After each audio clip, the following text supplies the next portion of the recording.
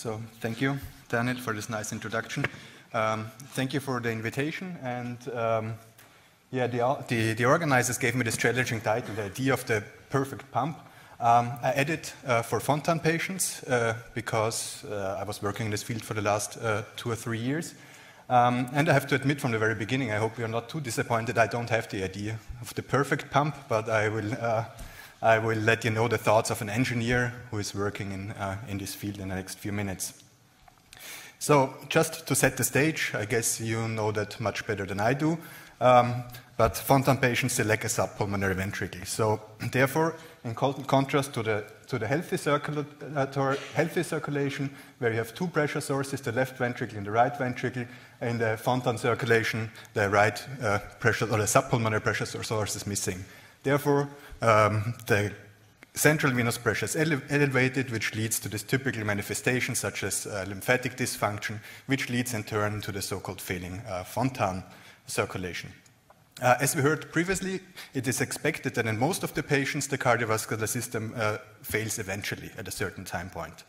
Um, interestingly, um, there were some predictions, um, at least for, Uh, there were some predictions for the uh, living uh, Fontan population, which is expected to double within the next uh, 20 years. Um, and as you know, heart transplantation remains uh, the only long-term treatment option for these patients at the moment. So there is actually an urgent uh, unmet medical need for devices to improve, to, to improve this treatment. Um, yeah, so, and the clinical need is that we need a device which is specifically tailored uh, for the cardiopulmonary uh, support, and we need a hemocompatible device.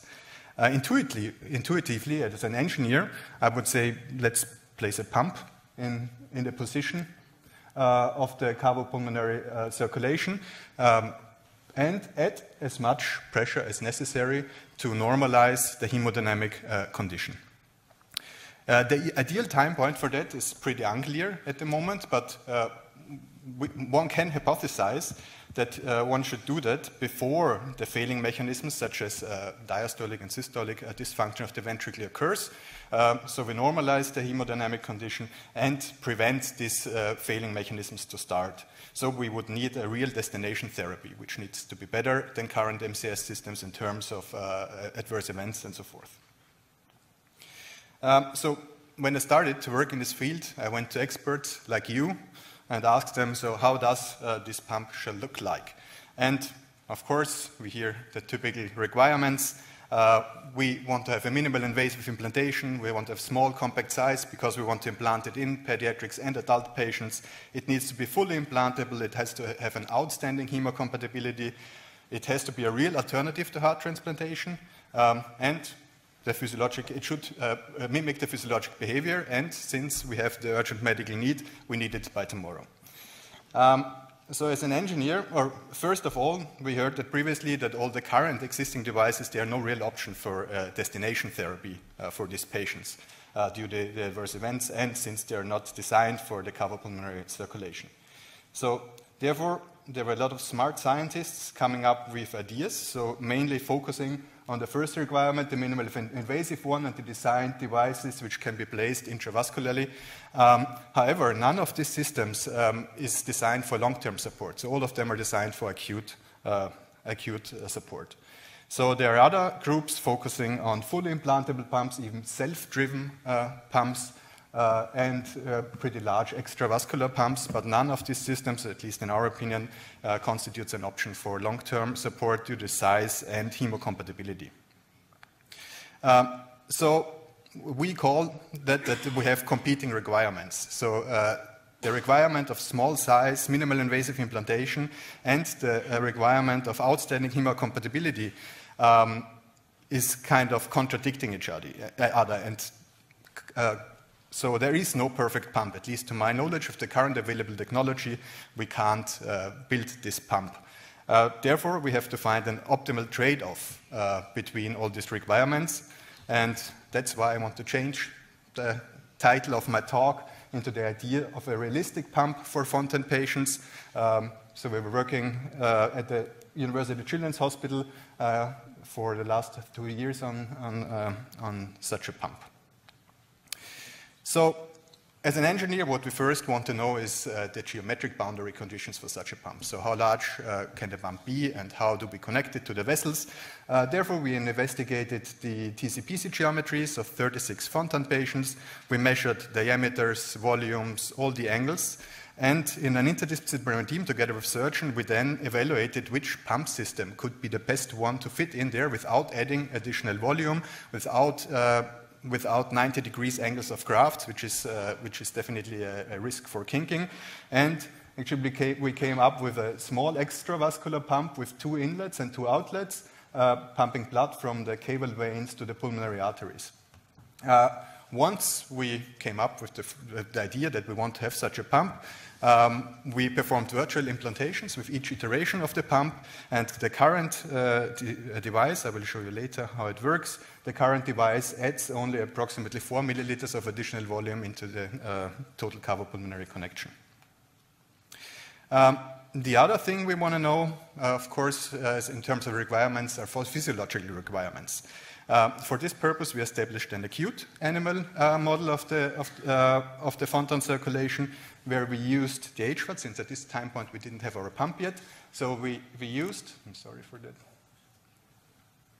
uh, we used the HVAD to bypass uh, the right heart. So, uh, so we pumped blood with the HVAD from the caval veins into the pulmonary artery. And what we learned from these experiments um, is that such a pump in cardiopulmonary position is very powerful because we can directly influence the venous return mechanisms. Uh, so we have this increasing speed has a direct influence on the central venous pressure until suction occurs, and cardiac output seems to be linearly related uh, to speed. So this is very powerful. On the other hand, if something is very powerful, it comes at a cost. Uh, you have a huge risk for over and under pumping in, in, in this patient. So venous congestion and, uh, and, and under pumping of the systemic circulation. Um, so what we also learn from this experiment is that uh, this pump, it's in series with the cardiovascular system, not, not in parallel as uh, the usual uh, LVADs. Um, so you need to deliver a wide range of pump flows. So it has to pump like two liters per minute in a 10-year-old patient at rest, but also has to ramp up up to 10 liters per minute if someone performs physical activity. Therefore, we need a very pressure-sensitive uh, design. I will let you know a bit later on what that means. So how does the pump look like? Uh, we have, as I mentioned already, we have two inlets and two outlets. I also brought the first prototype with me. It's uh, this size at the moment. You can take a look at it later on. Um, we have two inlets uh, connecting connect, uh, which are connected to the caval veins, two outlets connected to the pulmonary arteries. Uh, the, the, impeller is borne by two uh, high-end ceramic bearings. We have a redundant motor design because this pump has to be fail-safe. So we have two electric motors in there. Um, the impeller is a four-bladed uh, design to achieve a very smooth flow field, and around the impeller um, we have very large gaps, so they're at least half a millimeter, which is quite large for blood pumps, because uh, we want to prevent the floating thrombi coming from the venous system to be stuck in the pump, because this would be a critical uh, adverse event if, if they clog in the pump. Um, and of course, the, the housing, uh, we have connect, connectors for vascular grafts, uh, which, can be, which can then be connected to the vessels. Um, so in terms of hemocompatibility, um, the risks are blood trauma or thrombogenicity or uh, thrombus formation inside the pump. So we used flow simul simulations, um, and we saw that we have pretty smooth uh, flows uh, through the pump through the entire operating range from 2 to 10 liter, which was actually not easy to achieve. Um, and we have very low blood trauma compared to conventional LVADs because the energy we need to transfer to the cardiovascular system is much lower. Uh, Within, within, the pump, we have no region of low velocities, and actually one of, one of the most risky regions are mechanical bearings. So uh, we, we performed a lot of tests or put a lot of effort in there uh, to have a well-washed mechanical bearing, uh, even at low flows at 2 liters up to 10 liters, because uh, it is well known that if the flow around the mechanical bearing is disturbed, uh, then there's a risk for pump thrombosis. Um, another issue about hemocompatibility is temperature. So especially if you go into miniaturization, you need to miniaturize your motors. And if you miniaturize the motor, you usually lose a lot of energy, and this energy is transferred into, uh, into temperature. Um, so together with the ETH Zurich, we designed several motors. We measured uh, their resistive losses or the motor losses, and then we simulated the theoretically um, uh, generated temperature. And even for the worst case scenario, so with the worst motor, with the highest uh, energy uptake, um, we have a temperature increase of less than 1.5 uh, uh, degrees of centigrade, um, which fulfills all the norms and standards uh, for implantable assist devices. Um, as I mentioned previously, in terms of physiology, uh, we need to have a very pressure sensitive pump. That means if the venous return increases, also the flow through the pump should increase, and there shouldn't be uh, a hydraulic resistance to the venous return. Um, so what we did in our design process, we used 3D printing technologies. So we, we printed several rotors, uh, se several housings, and we had this nice device where we could uh, investigate the so-called HQ curves, so the characteristics, the hydraulic characteristics of the, of the pump, and we designed it in a way that they are very flat. So a low increase of central venous pressure results in an increase in flow. Um, also, what was very important to us is that the, uh, that the pressure conditions in the IVC and the SVC are balanced. Also in case of uh, physical activity, so if the patient starts to perform exercise, there will be much more flow from the lower body than from the upper body. body. And it's uh, still very important that the brain is perfused in an accurate way. So uh, we investigated the, the, performance of the pump to balance uh, the pressures, and we saw that even at 8 liters per minute, uh, the, the, the, delta P between the IVC and the SVC is less than 1.5 millimeters of mercury. And finally, uh, for the hydraulic behavior, um, in case of a pump stop, the pump shouldn't, uh, should not stop the circulation. So the resistance of the pump should be, should be low. So and, uh, with our pump at the moment, we, we have approximately 5 millimeters of mercury resistance at 4 liters per minute. So we hope that this is sufficient for the patient to be transferred to the hospital and, uh, uh, until an intervention can be uh, performed. So, uh, finally, some, something uh, we like to forget at university when we design pumps is also it needs to be manufactured at a certain time point. So, um, our pump, uh, all the parts of our pump are, manufactured, and the first, pro pro first prototypes are built.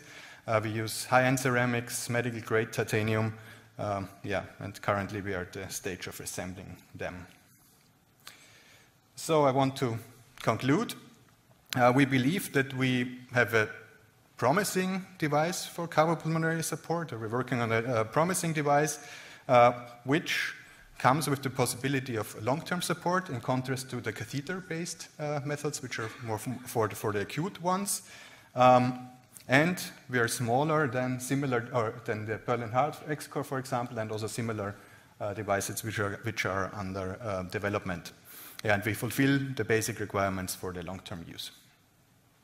So an outlook, uh, what we are working at at the moment is at the same size of the pump. We want to have a fully magnetically levitated pump. So actually, in theory, this works already. Also on the test bench, we have a, uh, the ETH actually. They're working on that.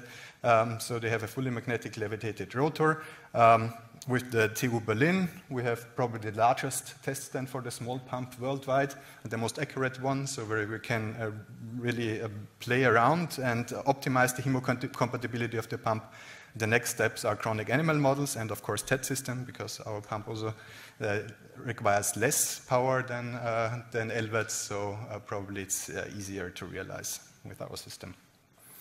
Thank you for your attention.